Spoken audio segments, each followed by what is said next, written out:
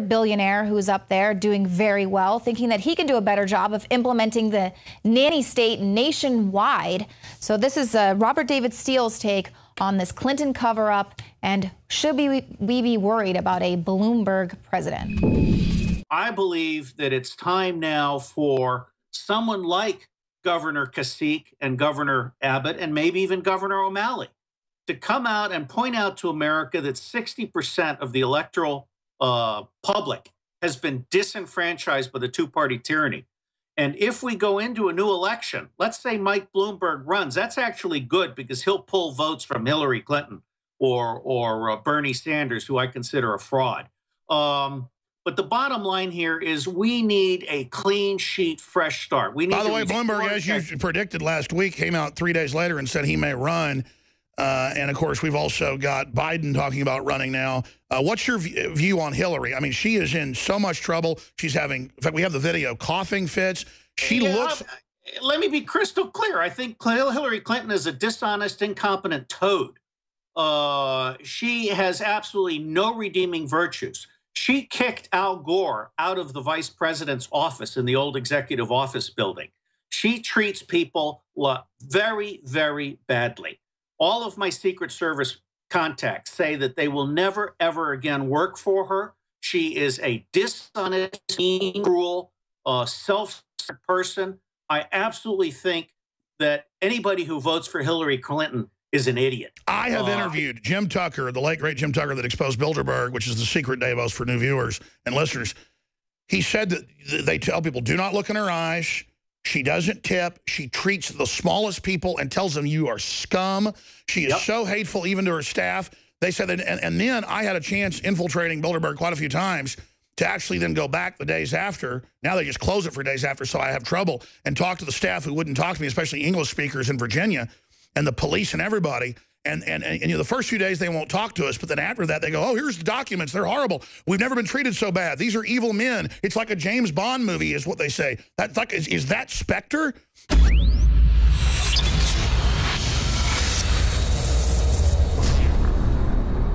You guys have the exclusive for, which is a product called Deep Cleanse. And why I'm so excited about it is it's a unique formula, almost like the iodine crystals. We have two unique products that nobody in the world has. One of the most amazing ingredients in the world, and it's called shilajit, and it's actually known as blood of the mountain or rock sweat because thousands of years ago, as a matter of fact, this ingredient was only given to the elite of the elite. Thousands of years ago, up in the Himalayan mountains and in Tibet. And we wanted to put this in, in stuff for, for a couple years, but we couldn't get an organic form. Right. I mean, so I, let's explain. I mean, we, this stuff's so good, we couldn't put it out for years. Right. So I had to actually, it's kind of like the iodine crystals, finding a source deep in the earth that we could uh, get the cleanest source available.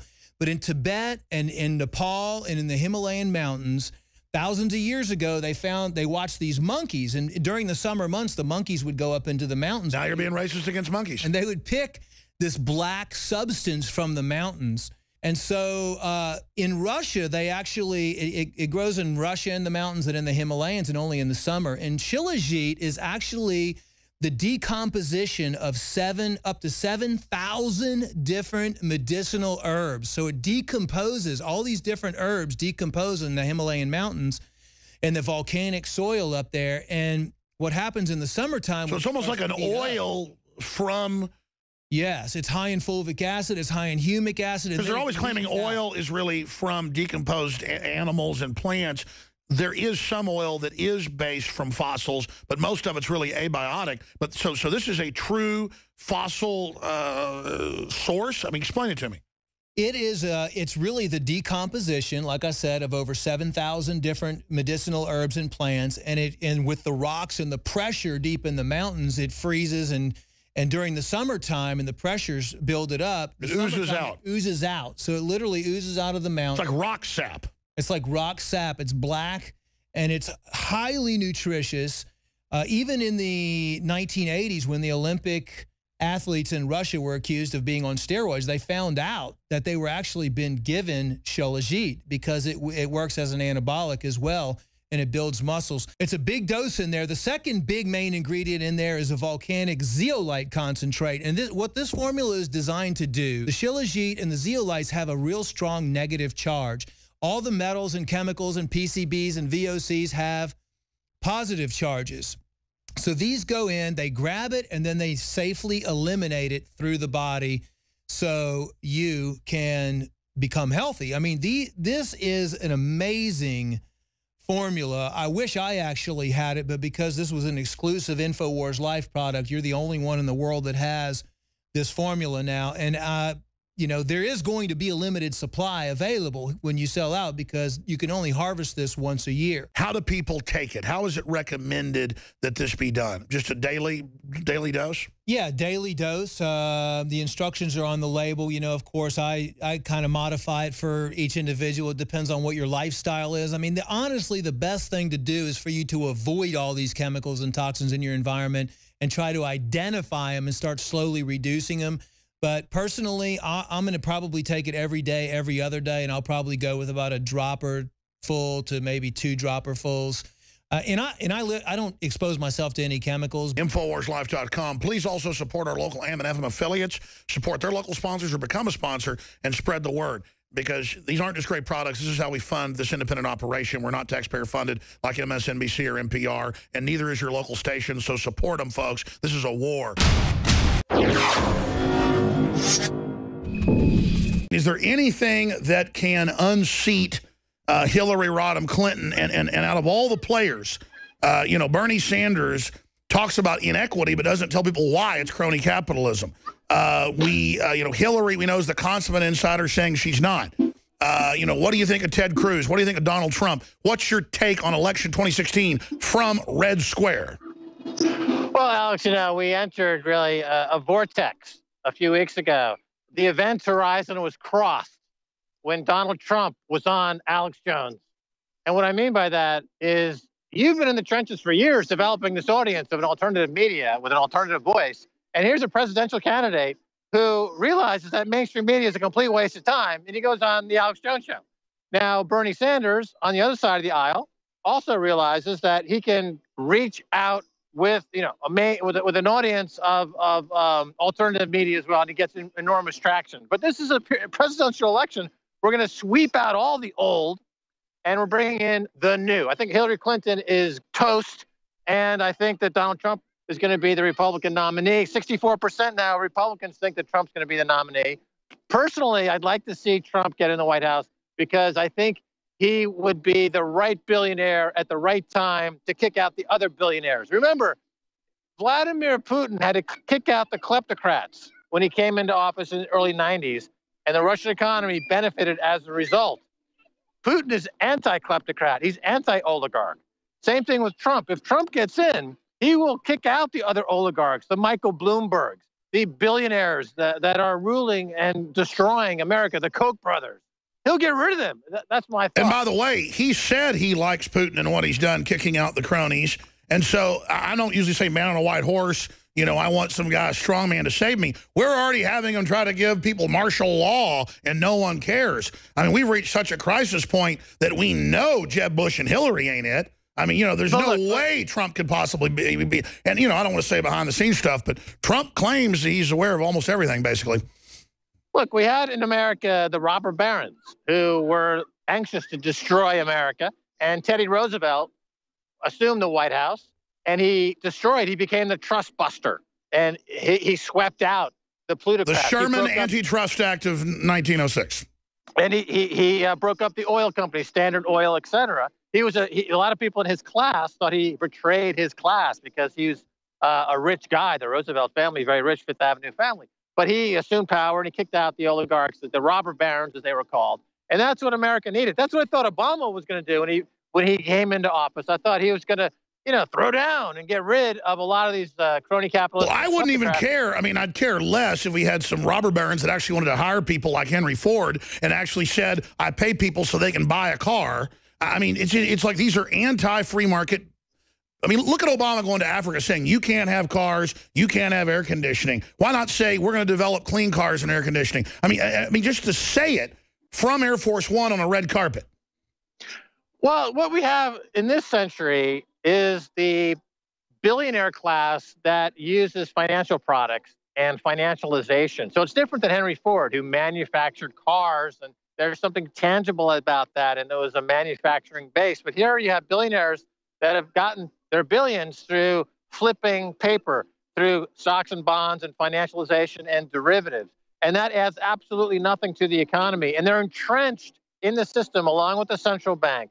But as I said earlier, it's remarkable that Deutsche Bank and other bankers are begging Mario Draghi at the European Central Bank to stop printing money because he's doing more harm than good. I've been saying it on your show for several years now that printing money causes deflation. It doesn't fight deflation. Now, Deutsche Bank and other bankers are agreeing with what I've been saying on your show for years. The, all the money printing, all it does is supports the zombie banks who use all the free money to just roll over all of the debt that's no good. It's junk debt. It should they should be allowed to fail if in fact this was a free market. But by keeping them propped up with all the money printing, they are a huge impediment for economic growth. And now even the bankers themselves realize that they don't want the free money anymore. It's just killing the economy. Sure. What are the next uh, triggers? And then I want to get into some hardcore news and take calls. What, in your view? The next triggers are the in in the oil market. What's remarkable is that if you look at the price of oil, it's gone down, but the transportation index, which is uh, an, an index of stocks tied to transportation, it's also gone down. But usually, if the price of oil goes down, transportation companies go up, or people benefit from a lower gas price. But now we're seeing lower oil prices trigger a financial collapse because all the oil is backed by junk bonds. And those junk bonds are now all deflating in value. They're all crashing. So the actual the lower oil price is not helping the economy let's all. Go further, let's go further. As the oil companies got caught by the AP in 2000 on a six-year plan that went back to 94, the Big Ten kept meeting in New York and in uh, other U.S. cities. In, in their lawsuit, they got the documents saying we're going to have wildcatters in the future they predicted the shale market coming up, the, the tar sands. They said, we've got to get fake environmentalists to, to, to, that we fund to shut down, this is in the documents, to shut down all these new refineries and don't let new ones get opened. So even if the Saudis or somebody have a war, and they saw this you know, 17, 18 years ago, and lower prices, we will create an artificial bottleneck. So oh, gas should be like a dollar a gallon now. That would actually help the economy. It, it, hurts a bunch of other areas of the economy to have oil that low, but it should be translating like a dollar ten, okay, or a dollar twenty. No, it's not. It's oil still. it's still. So, so, so, we're, so, so we're getting both. Oil's really plunging in the real market, but by the time we get it, it's so rigged. We're still paying way more than we should because the oil companies have the refineries, and are, and and so it doesn't matter if there's a glut. They've suspended reality yet again, Kaiser. A double screw job. Two, two points. Two points. Number one uh, you made there in terms of the gas price. Uh, but the important thing to remember is that behind this industry is a structured financial market of bonds that, that are all now unable to pay their interest payments and they, they're all collapsing.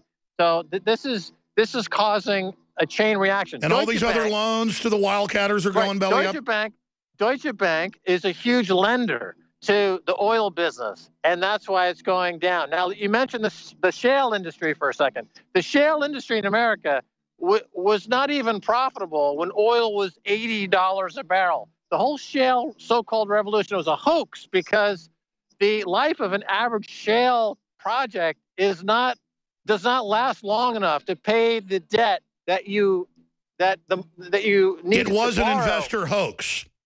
It is a hoax. It, always cash flow negative from day one. And that's when oil was $80 a barrel. Now with oil at $30 a barrel, not only are you getting a negative cash flow on all the shale rigs in America, but all the junk bonds and now all the banks that lent, like a Deutsche Bank or all these money center banks that lent into this hoax, they're now collapsing.